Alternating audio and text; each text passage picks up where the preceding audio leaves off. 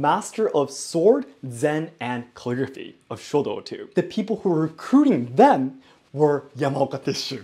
yeah, so this is what I love about the Bakumatsu period. He died sitting in zazen facing towards the imperial palace.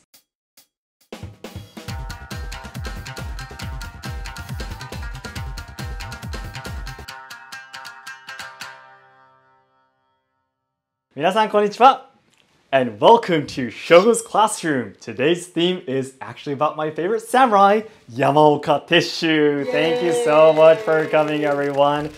So I completely understand what you're thinking right now when you heard, wow, let's ask Shogo. Shogo's finally going to be talking about his favorite samurai. Who is he? Is it going to be Miyamoto Musashi? Is it going to be Oda Nobunaga? Toyotomi Hideyoshi, Tokugawa Ieyasu, Sakamoto Ryoma? And here we are, Yamaoka Tesshu. Wow, Shogo, thank you so much for this video. I'm gonna be going watch your other videos now. hold on, hold on, give me just a little bit more time. I'm going to be talking about everything you need to know about Yamaoka Tesshu through this video. And by the end of watching this video, you'll be in love with Yamaoka Tesshu as much as I am. So I really hope you can enjoy watching this video. I was wanting to talk about it for a really, really long time. So I have prepared two slides today. In the first half, I will be talking about the life of Yamaoka Tesshu. I'll be explaining about how he lived through his life in four different sections here, as you can see. And also in the second slide, I'll be talking about the four main things that I really admire about Yamaoka Tesshu too, so I really hope you can enjoy. Um, the second slide especially is completely my personal opinions. if you actually know about Yamaoka Tesshu already and are in love with him, please let me know in the comments about what you think is amazing about Yamaoka Tesshu. And also, yeah, of course, please let me know about your favorite samurai as well. Yeah, so I'd love to get started right away. But before I do so, I uh, actually have Kazu here. Hello! And also my channel members are watching me through a different camera here. So if you're interested in talking with me through Zoom about 30 minutes before filming the Shogo's Classroom and also watching me record this live, it'd be great if you can join the channel membership through our description box too. In this channel, you can take a closer look at Japanese traditional culture, tips on traveling to Kyoto, and social problems in Japan. So learners and lovers of Japanese language and culture, be sure to subscribe to enjoy more content. それでは本日も早速参りましょう。よろしくお願いいたします。So we're gonna get started, the life of Yamaoka Tesshu. Now, before I start actually going into his own life, as you can see here, I'm to be talking about the time period very briefly where he was alive. But the reason why I'm going to be going through this very briefly is because, as you can see, it's the Bakumatsu, Bakumatsu period, which I've been talking about so many times before whenever I talked about Sakamoto Ryoma, Saigo Takamori, Shinsengumi, all of these people are alive during the Bakumatsu period. Basically, um, the most easiest way to, to understand it is that this is the very turbulent civil war era. You know, we have the Sengoku War era too, but Bakumatsu is like as popular yeah, as the Sengoku War period because there was a lot of drama with samurai fighting each other for their own justice and everything. Yeah, and the Bakumatsu period is the end of the Edo period though. And it happened because there was a man named Perry that came from the US and tried to force Japan to open its borders, which were closed for about more than 250 years, and isolated, you know, they restricted trade, yeah. And Japan was closed for 250 years to protect the absolute rule of the shogunate, the samurai government, but the US came, they forced Japan open, so there was a, a, lot of chaos going inside of Japan. One side saying that we should destroy the shogunate to establish a new government to westernize Japan. The other side, the old shogunate said, no, we are going to be continue being the leader even in the new westernized world. So there was a the really fierce battle between the two sides. So it was a very chaotic time. So you can understand that as the Bakumatsu period. So, Yamaoka Tesshu was born just a little bit before the, Bakuma, the beginning of the Bakumatsu period. You can just jump into number one, raised as a talented swordsman. Now, we call him Yamaoka Tesshu today, but his last name was originally Ono Ono. And Ono was his father's name, obviously. And the Ono family was a very, very talented martial art family. Mm -hmm. And his, even his mother is believed to be a descendant of Tsukahara Bokuden. Now, if you are a Sengoku War era fan, I'm pretty sure you know about his name. He is the, there's, there were two legendary individual swordsmen who are, spent, uh, who are believed to be really, really strong. And Tsukahara Bokuden is one of the two. Mm -hmm. And his mother is believed to be a descendant of such a strong swordsman. And the Ono family has been doing martial arts like for generations and generations, so he was completely gifted by his bloodline already. Mm -hmm. So as he was growing up, although he was born in a rather poor family, the Ono family wasn't such a really um, uh, rich family and such with a lot of power, but he was gifted with an amazing environment, but being able to train in various martial arts. And also, I've written here actually, he trained in Shinkage-ryu. I'm pretty sure if you are a Kenjutsu or you know Iai trainee, you know about Shinkage-ryu and Hokushin Itto-ryu too. Hokushin Itto-ryu is really, really famous for Sakamoto Ryoma training in it. Yeah, Sakamoto Ryoma is believed to be a really, really strong swordsman originally. Yeah, and he trained in Hokushin Itto-ryu. All these Ryuha all exist, by the way. And he trained in Sojutsu too. Sojutsu is a spear. Mm -hmm.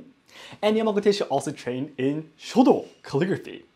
Now, we always, whenever we talk about Yamaoka Tesshu, we, we, his subtitle of his name basically is the Master of Sword, Zen, and Calligraphy of Shodo too.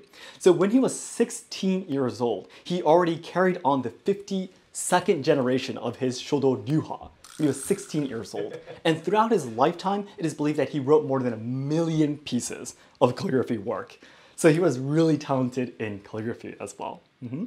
And as he was training in various things, he grew up to be a very strong man. As you can see here, he was 188 centimeters tall with over 100 kilo in weight. So um, the average height for a Japanese man back in the Edo period especially was around 160 to 165 centimeters. So they're really, really short. Even today, a man who is 188 centimeters tall would be really, really, really big. Mm. Yeah, and also talented in skills martial arts. He was really, really strong as he was growing up and being a teenager. He was almost undefeatable. He was really, really strong. Yeah. However, really sadly though, as he was growing up though, when he was 16 years old, he loses his mother. When he was 17 years old, he loses his father and he becomes on, completely on his own. Yeah, that's a little bit sad there. When he was a teenager, he loses both of his parents. And then from there, moving on to block number two here on this corner, fighting for the shogunate. Now, losing his parents when he was around 20 years old though, because he was so skilled and strong in martial arts and sword techniques and such, he was hired by Kobusho, as it was written here. Kobusho is a martial art training facility that was run by the shogunate. Yeah, so there was a lot of different Ryuha all training together in one huge organization. Yeah, and he was hired there to also learn, but also teach. Yeah, when he was already 20 years old. so you can understand how strong he was at that young age was already hired by Kobusho. Mm -hmm. And as you can see here, number two, marries a spear master's daughter and becomes Yamaoka. There was a Sojutsu, Sojutsu master at the Kobusho, and because the, he was so talented and strong, the spear master's daughter, he was like, you should become my, our son, basically. And that's, the, that's when he becomes Yamaoka. Mm -hmm. And at Kobusho too, not just as he was growing up though, at Kobusho he gained even more experience, got stronger and stronger, and this is around the time when he started training in Zen as well, Zen philosophies, to become mentally strong as well, not just physically. Mm -hmm. And then around here was the timing when the Bakumatsu, the very turbulent Bakumatsu period has started. Mm -hmm. So this is the point where the fighting for the shogunate part starts. Yeah, working, fighting for the shogunate. Number three, as I've written here, becomes a leader of Roshigumi Roshigumi. Roshigumi was actually a um, organization of random people, basically, who anyone who wanted to fight can come and join to protect the shogun who was going to be planning to head over to Kyoto safely. Mm -hmm. Because it was already, there was a lot of terrorism happening all over the country. Let's defeat the shogun and, you know, realize a new era kind of people were, you know, creating riots all over the place, and the shogun was really scared that even the people near him might start riots and attack him. So he wanted to gather more people, bodyguards basically, that would fight for him. So anyone was recruited from any social class in society, anyone was recruited to fight for the shogunate. And to do that, the Roshigumi basically was the people who hired those people. Like, come on in, okay, that's your name, you know, you, you okay, let's fight for Roshigumi, and people were gathered, and they actually went to Kyoto. Mm -hmm. But unfortunately, the leader of Roshigumi even though they originally said they wanted to establish an organization to protect the shogun, the leader was actually gathering people to fight for the emperor. Yeah. So as I explained in when I talked about the history of Shinsengumi too, um, the basically the newer government side, the people who wanted to establish a new government wanted to have the emperor on their side, so they would have the right to create a government. Mm -hmm. And the shogun, of course, they are under the emperor too. But basically, the emperor were a power, what should I say, they're existing as a power, but the real political things, you know, the real political power was held by the shogun. So there was two sides, yeah. Who are you on the emperor's side or are you on the shogun's side? It's basically the battle between the during the Bakumatsu period. Mhm. So the leader originally was gathering all these strong men of different classes to protect the emperor, and the people were like, well, well, this is not what we came for, yeah. And they all, you know, scattered away, yeah. And they were basically the Roshigumi was immediately sent back to Edo because they were not gathering for the original purpose, and the leader of Roshigumi was assassinated. Mhm. And because Yamaoka Tesshu was one of the leaders too, right under the top leader, he was actually um, sentenced to punishment as well. But guys, I was mentioning a little bit about Shinsengumi too earlier, right? Doesn't this story sound a little bit familiar? this Roshigumi, Roshigumi? Wait, I kind of heard of this before. Yes, it's the Mibu Roshigumi. Do you guys, if you guys remember, the originally peasants the people originally peasants who were training in kendo, really wishing to become a samurai someday, signed up for a gathering of the people bodyguards to protect the shogun right yeah. The people who signed up for the um, future shinsengumi members the people who were recruiting them were Yamaoka Tesshu. yeah, so this is what I love about the Bakumatsu period so much. The, the all the what glamorous you know characters that you see in dramas and video games and such, they're actually you know interacting with each other you know through these stories. Yeah, so that's the reason why they were called Mibu Roshigumi. The original organization was called Roshigumi, but again, the Shinsengumi members when they heard that the top leader was originally gathering the group for fighting for the emperor, they said, okay, then we're not we're gonna be working for you but we still want to, to stay in Kyoto, so we're going to be taking the Roshigumi name, but giving it Mibu, which is a city in Kyoto, and they started a new organization on their own, right? Mm -hmm. But the original Roshigumi was sent to Edo, and it was disassembled and taken away, and Yamaoka Tesshu was actually punished there too. So this, I thought this is a really interesting part how the Shinsengumi and Tesshu actually were interacting with each other. So basically Tesshu was originally their leader, the leader of the Shinsengumi members. I thought that was really, really interesting. So I was really excited to talk about this story. yeah. And then from there, eventually the punishment of course ended. And number three, the bloodless surrender of the Edo castle. That sounds really, really scary, doesn't it? Yeah. So this is something that I actually talked about when I talked about the history of Sakamoto Ryoma. Sakamoto Ryoma. Basically, the rebellious side who was trying to fight and defeat the shogunate, there were a few clans that were the leaders of the rebellious people. Mm -hmm. And there was the Choshu-han, Choshu clan, yeah, of Yamaguchi prefecture, and there was also the Satsuma clan, which is which had uh, Saigo Takamori as the leader. Mm -hmm. And these two clans, originally they had occasions where they fought with each other. Yeah, Choshu clan was the first clan that was really, really um, what should I say, violent and started a lot of riots. And all the other clans were trying to stop the Choshu clan from, you know, trying to fight and destroy the shogunate. Yeah. And the Satsuma clan originally was on the side of the shogun to stop them.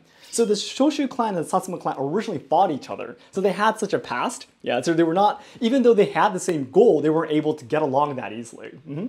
But because of things to Sakamoto Ryoma, he came together and said, you know, let's shake hands. You know, we have the same goal right now. Let's shake hands and work together. And he was the person that established the Satcho Domei.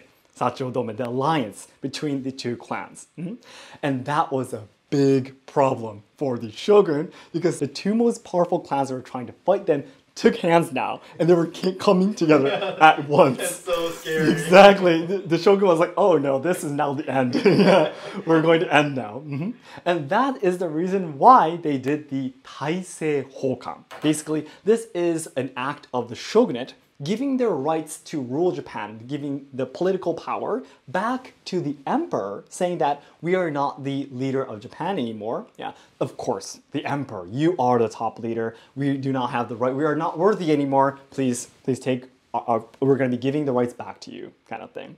And this was just to say that um, basically because they're not the leaders anymore, there's no reason for them to start a war against them. Yeah, because the shogun was like, okay, we cannot win. Let's just give our rights back and say we're going to be, we're not going to be fighting you. Yeah, but they were trying to secretly find a way to still rule Japan, even though they did give their rights back. The Tokugawa family run Japan for more than 200 years, right? So they still wanted to manage their power. And there were a lot of people um, who realized that. The shogunate, even though they did not become a shogunate, even though it was disassembled, I'm pretty sure they're still looking for a timing when they would regain power. So that's the reason why, even though the shogunate gave the powers back, the Boshin War starts from there, which is the biggest civil war um, during the Bakumatsu period. Mm-hmm.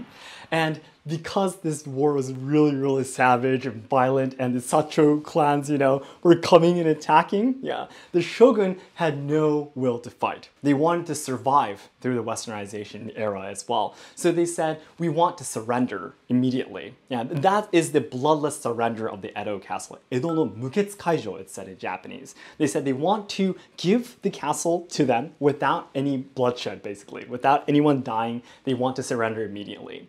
But of course, they are very, very, you know, angry and willing to destroy the shogunate, right? Just saying, we want to surrender without any fighting, you know, you won't, they won't, they might not listen, right? Yeah, so they needed someone to go and negotiate with the Sacho clan, the alliance, basically. And that was Yamaoka Tesshu.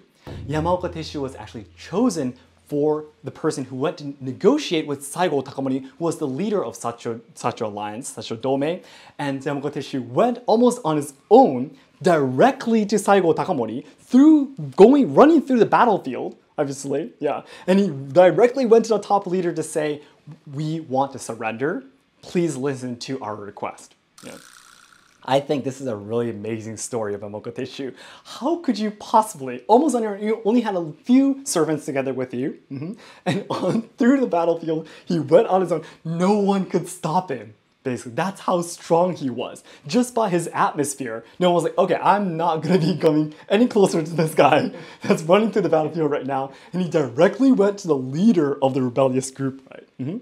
And then Saigo Takamori, it's even more amazing from here. Saigo Takamori, he was like, what, who the heck are you? You know, just one, you know, a messenger coming directly to me you know, the top leader talking, who the heck are you? But eventually, as they were talking, Saigo Takamori was really impressed and pleased by how loyal Yamaoka Tesshu was, how strong he was, mm -hmm, how much courage he had. And Saigo Takamori was, okay, um, this request is very, very um, surprising, of course, you know, just surrendering without any um, wars happening. But he said, okay, so Yamaoka Tesshu, I trust you. You are an amazing person. So then, you, because you came, let's not start a war. So thanks to Yamaoka Tesshu, yeah, the the um, the surrender, the bloodless surrender, actually was a success. Now, probably no one knows what would happen in history. Of course, this is just a if you know that kind of story. But if Yamaoka Tesshu didn't exist, the bloodless uh, surrender might have not been a success, and much more people. Some professors were estimating that maybe double the number of people could have died in the Boshin War if the Edo Muketsu Kaijo wasn't a reality. So the Yamaoka Tesshu, his existence was really, really big in Japanese history, especially during the Bakumatsu period. And then finally into the final chapter, number four, dying for the Meiji government. Mm -hmm. So basically, again, the shogunate was disassembled, and the Boshin War, the old shogunate side loses, and the new Meiji westernized government was established. Mm -hmm. And Yamaoka who was originally fighting for the old shogunate, of course, would lose all his powers. However, because Saigo Takamori liked him so much, thanks to his recommendation, Yamaoka starts to work as a servant for directly for the emperor. Uh-huh. Yeah, so that's amazing. Yamaoka Tesshu was originally his enemy that ran through the battlefield to come to him. Yeah, but because Saigo Takamori, the top leader of the Choshu alliance, was like, no, I cannot just let you die. Now you are an amazing person. Please become a, a servant for the Meiji emperor. Yeah, and that is how Yamaoka actually worked for 10 years. And the 10 years, by the way, was Yamaoka wish. It was like, no, no, no, I am not worthy for, for doing something directly for the emperor. Please, I'm not a worthy person. But because Saigo Takamori recommended so much, he said, okay, okay, I will do it then, Saigo-san. Okay, I will take your, recommendation, but let's just do it for 10 years then. I'm not worthy for doing it my whole lifetime. Yeah, and he actually does uh, work for the emperor for 10 years exactly. Mm -hmm. And also because he was very um, trained in, in Zen too. Around the end of his life, he actually builds a Zen temple himself mm -hmm, to mourn the souls who were lost during the Bakumatsu revolution. Mm -hmm. He even builds a temple and he even starts his own sword style too, just three years before he dies. Mm-hmm. Yeah, it's called Itto Shoden Mutoryu. Itto Shoden Mutoryu. I just love the sound of this new name. Muto means no swords no swords basically. So you can understand where his philosophies, you know, yeah, his principles of not wanting to actually kill someone, but training to become a stronger person. You can understand it from this name too. I'll be talking a little bit more about this in the second, in the second slide. Mhm. And number four, this is also really amazing. He died sitting in zazen facing towards the imperial palace. Literally, he died when he was doing the zazen and facing towards imperial palace was now his lord right basically he was now showing his loyalty to the, the imperial palace the emperor so he died sitting zen when he was in his 50s Oh my goodness. and that is the end of Yamaoka Tesshu's life. Yeah. Um, to be honest, I'm pretty sure you've already understood how amazing he is. yeah. But now let's move on to the second slide and talk about how uh, the parts that I especially think are amazing about Yamaoka Tesshu. Then let's move on to the second slide. What's amazing about Yamaoka Tesshu? Yeah. Um, I could have uh, made a hundred slides actually, but I tried to make it into this one slide to make this uh, video in a fair amount of time. Yeah, I don't want to be using three or four hours of your day. So I just gotta try to put it into these four points. There's even more, there's much, much more, but today I'll be just introducing these four. Let's start from number one. Obviously, obviously, he was unbelievably strong. He was really, really strong. Even when he was growing up, when he was a teenager, growing up, growing up, learning a lot of the martial arts in his family, he was called Onitetsu. That was his nickname. Onitetsu literally means devil metal. The only two people who were called devils in Japanese history is Oda Nobunaga and Tesshu here, so you can understand how strong he was. He proved that being actual strength is not about going up and killing anyone. There was one person that came to my mind when one person showed up and stopped a war from happening. Shanks from One Piece. yeah, I'm here to stop this war.